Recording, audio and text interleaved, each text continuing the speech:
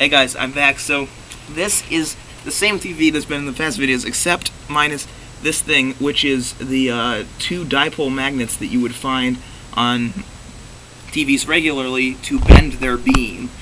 But in this case, what I've done is I've taken the um, vertical and horizontal positives, or just one of the vertical and horizontal. I think, in fact, the opposite. This is, this is the uh, horizontal negative and the vertical positive, I think. And this is the um, vertical negative and the horizontal positive. And I've hooked those two together, so and this is hooked to positive and this is hooked to negative. The positive and that negative, the uh, black alligator clipped, are hooked up to this uh, radio, which you can't see. This thing. Anyway, it's outputting, you know, audio from the radio, and it's putting into this. And so the um, the effect it has is making like a, almost a galaxy-like effect on the TV. And it has to be turned up pretty high, but if the uh, TV TV, and I'm going to turn this on. First, plug in the radio without disrupting the light. Whatever. Turn on the TV, and you'll see the uh, galaxy-like effect that it has on the beam. It's pretty cool. So the louder it is, the farther it stretches out to the sides. Sorry, I don't know what that vertical This really sucks for you guys. You can't see anything.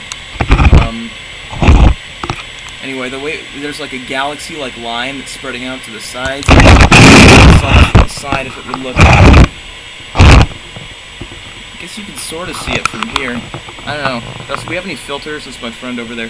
Do we have anything that's like sort of semi you can see through a little bit? Try, give me the netting stuff. Maybe that would...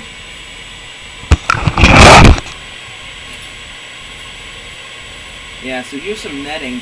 Maybe if I make it a bit less bright, you'll be able to see what's going on better. Oh, there, it was less bright for a second. Yeah, you can sort of see it. Uh, maybe, I don't know, let me see, I'm gonna rotate. Yeah, as you can see, it's going out this direction. Here. Got some glasses. And that's not helping. Alright, anyway, as you can see, the, um, basically it works is, let's see if I can just adjust this. Well, Oh, I hit something there. Alright, that's the way it really should be. Got the line to be, like, really far. Anyway, the way it works is that the um, more voltage is applied to the speaker, the farther out it goes like that, and the farther out it goes like that. So, and the uh, reason it's creating that swirling, like galaxy-like motion, you can see it evident right there, the swirling motion, is because the positive and negative are hooked up oppositely. So while the dot is moving this way vertically, it's moving this way horizontally. So in, in my case, the TV, the magnet is twisted. So in fact, this is vertical and up sort of like diagonally from the bottom corner to the top, bottom right corner to top left corner is vertical. And from the bottom left corner to the top right corner is horizontal. So in effect, the horizontally is much more. But it's while it's moving one direction horizontally, it's moving the other direction vertically. So it creates this twisting motion.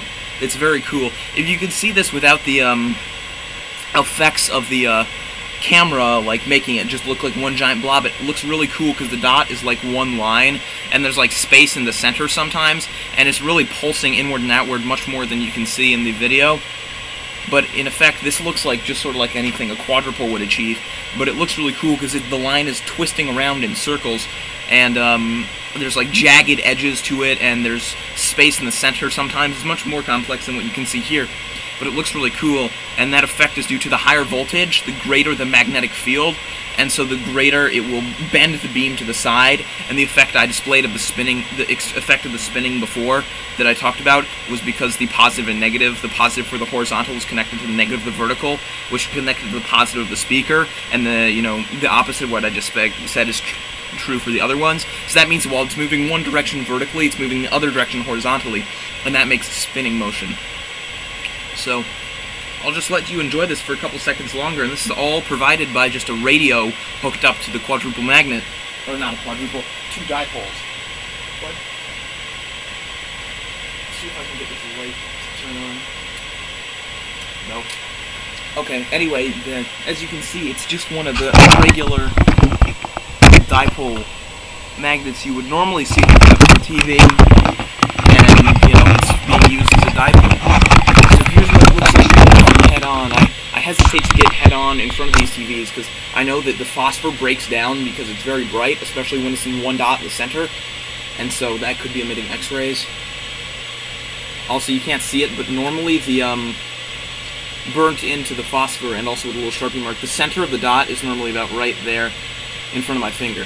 So this is pretty well centered, and as, as you can see, it gets centered more and more horizontally as uh, as the, the higher voltage is. The higher it spreads out, the higher it spreads out that way. So uh, I'll let you enjoy this for a couple more seconds. Thanks for watching.